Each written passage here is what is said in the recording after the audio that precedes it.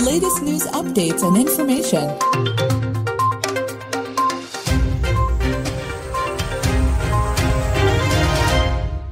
Sahabat, pasca diberlakukannya pembatasan sosial berskala besar di Kabupaten Sidoarjo pada 28 April mendatang, berbagai tempat fasilitas publik akan segera disesuaikan terkait dengan standar operasionalnya. Salah satunya sektor pasar di Kabupaten Sidoarjo yang berjumlah 19 pasar. Nantinya selain prosedur untuk pedagang dan pengunjung yang diwajibkan memakai masker, setiap pasar akan beroperasional sesuai dengan jam yang telah ditentukan. Hal ini disampaikan Dr. Andes Jarda, Kepala Disperindak Kabupaten Sidoarjo. Penetapan jam operasional pasar akan dilaksanakan saat Kabupaten Sidoarjo sudah menerapkan PSBB. 12 itu tapi sekali tok.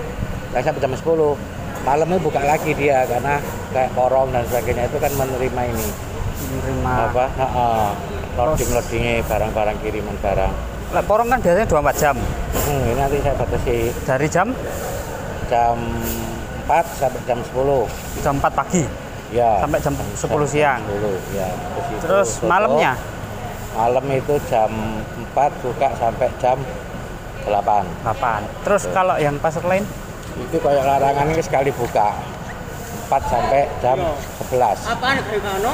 oh 4 Wis, mari kan tutup. Oh kalau ini masih kita kasih malam nggak ada? nggak ada. Kayak pasar taman nih Pak, gede Pak ya itu masuk kayak porong. Oh. Di jam 4 Jadi, subuh hmm. sampai jam 10 malam sore jam 4 sampai jam 8. Jadi ada dua alternatif pilihan ya, itu untuk pasar. Siang tutup. Siang seluruhnya tutup. Setelah itu jatuh jam 8 sampai subuh tutup. Ngono. Hmm. Itu kan isi ya. Tapi 19 pasar itu kayak gitu. Ada yang ada yang sekali buka, ada yang dua kali yang nah, sekali kan beda-beda. Oh, sing, sing kelas kayak larangan sekali buka. Ya. Ah. Ada kayak nggak ono iki, nggak ono kayak pusat pulaan nggak ono. Oh iya. Sing untuk nggak ono. Sing ono khusus pulaan porong, Rian, taman, rian. Itu tiga itu. Berarti selain itu satu kali itu kali. Enggak sampai ono penutupan beda. Enggak, enggak.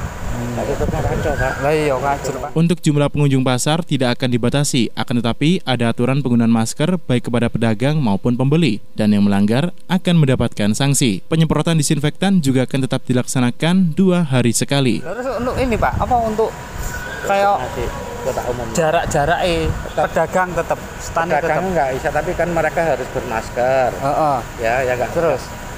Pengunjung pun pembeli yang datang tidak bermasker tidak boleh masuk pasar. Uh -uh.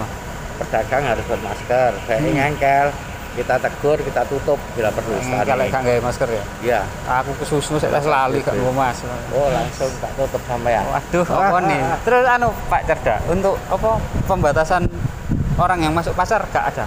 Tidak ada. Saya bebas ya? Tapi ini sekarang kalau memang sudah mulai dibantukan buat masyarakat ini uh. stimulus bantuan sembako ini uh. kan mereka sudah mulai punya apa uh, cadangan untuk hmm. makan. Jadi kan untuk ke pasar. sedikit ya berkurang. berkurang. Lah untuk operasional kayak pasar yang dibatasi kayak itu mulai saat PSBB ya apa mulai duluan? PSBB. oh saat PSBB langsung kita batasi semua orang ya. Terus rutinitas penyemprotan ada juga? oh tetap. Oh, iya. dua kali sekali tetap. Demikian saya Billy Patopoy melaporkan untuk Suara Sidoarjo. The latest news updates and information